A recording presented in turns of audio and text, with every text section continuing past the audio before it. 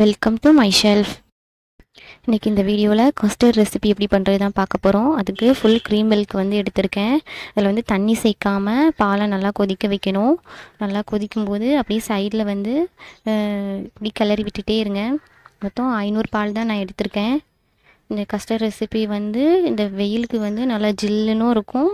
அப்புறம் பார்த்திங்கன்னா நிறைய பழங்கள் உள்ள ஆட் பண்ணுவோம். அதனால் அது பழங்கள் உள்ள அத்தனை சத்துக்களும் நம்மளுடைய குழந்தைகளுக்கு கிடைக்க மாதிரி இருக்கும். நல்ல நோய் எதிர்ப்பு சக்தி கிடைக்கும். அதனால் நீங்கள் வீட்டில் பிள்ளைங்க இருந்தாங்கன்னா இந்த வெயிலுக்கு செஞ்சு கொடுங்க. ஆடை வந்து சைடில் படியாதபடி நல்லா கலரி விட்டுட்டே இருக்கணும். அப்புறம் சூப்பர் மார்க்கெட்டுக்கு போனீங்கன்னா கஸ்டர்ட் பவுடர் கிடைக்கும். அதில் மூணு ஸ்பூன் எடுத்து வச்சுருக்கேன். இதில் வந்து பால் காய்ச்சலையும் அது வந்து லைக் உள்ளே சேர்த்துக்க போகிறேன் நான் அரை கிளாஸ் எடுத்து வச்சுருக்கேன். நமக்கு வந்து எவ்வளோ தேவையோ அந்த அளவு நல்லா கட்டி இல்லாமல் நல்லா மிக்ஸ் பண்ணிக்கணும்.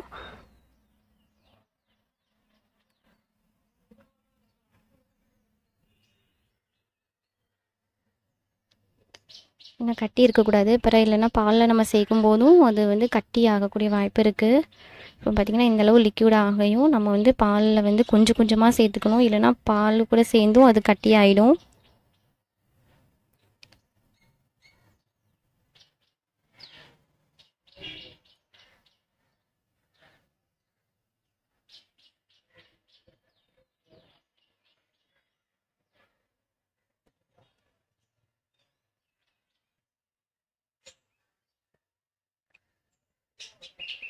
இந்த மாதிரி கைவிடாமல் எல்லாத்தையும் ஃபுல்லாக கலந்துட்டு கைவிடாமல் கலக்கிட்டே இருக்கணும்.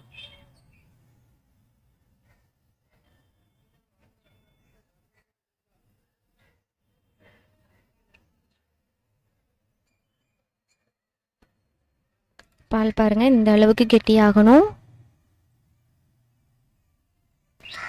பால் இந்த அளவு கெட்டியானோடனே ஸ்டவ்வை உடனே ஆஃப் பண்ணிடுங்க ஆஃப் பண்ணிவிட்டு இதுக்கு நல்லா ஆற வச்சுருங்க.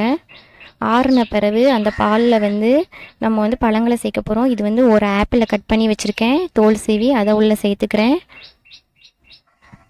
இது வந்து ஒரு வாழைப்பழம் சின்ன பழம் ஒன்று நான் கட் பண்ணி இது கூட சேர்த்துக்கிறேன்.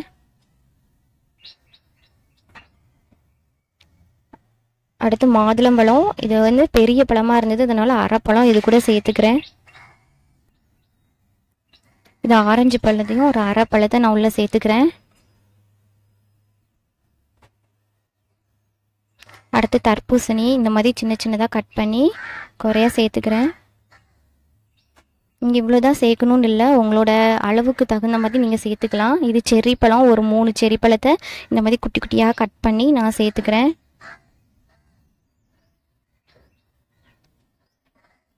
அப்புறம் சுகர் வந்து நான் இதில் வந்து அஞ்சு ஸ்பூன் தான் சேர்த்துருக்கேன். இது வந்து மீடியமான லைட் லைட்டாக அந்த அளவுக்கு தான் இனிப்பு இருக்கும். உங்களுக்கு தேவைன்னா நீங்கள் கூட ரெண்டு ஸ்பூன் சேர்த்துக்கலாம்.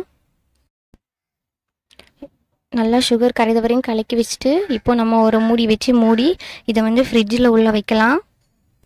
இப்போ வந்து ஃப்ரிட்ஜில் இருந்து வெளியில் எடுத்துட்டேன். நல்லா ஜில்லுன்னு இருக்குது பார்க்குறதுக்கே பாருங்கள் எவ்வளோ கலர்ஃபுல்லாக இருக்குது அப்படின்ட்டு. குழந்தைங்க இந்த மாதிரி கலர்ஃபுல்லாக இருந்தால் ரொம்ப விரும்பி சாப்பிடுவாங்க. இதில் வந்து எல்லா பழங்களோட கலவை இருக்கிறதுனால பிள்ளைங்களுக்கு வேண்டிய எல்லா சத்துக்களும் கிடைக்கும். அதனால் கண்டிப்பாக பிள்ளைங்களுக்கு கொடுங்க. இதை ஃப்ரிட்ஜில் வச்சு கூலாக சாப்பிட்டோம் அப்படின்னா ரொம்ப நல்லாயிருக்கும் அதோட டேஸ்ட்டு இந்த மாதிரி ஒரு ஸ்பூனை கையில் கொடுத்து பிள்ளைங்க கையில் கொடுத்துட்டிங்கன்னா அவங்க ரசித்து சாப்பிடுவாங்க. பாருங்கள் சூப்பராக ரெடி ஆயிடுச்சு. நம்மளோட கஸ்டர்ட் பவுடர் சேர்த்த ரெசிபி ரெடி ஆயிடுச்சு. அவ்வளோதான் ரொம்ப சிம்பிளாக தான் இருக்கும். நீங்கள் வீட்டிலையே செஞ்சு கொடுக்கலாம்.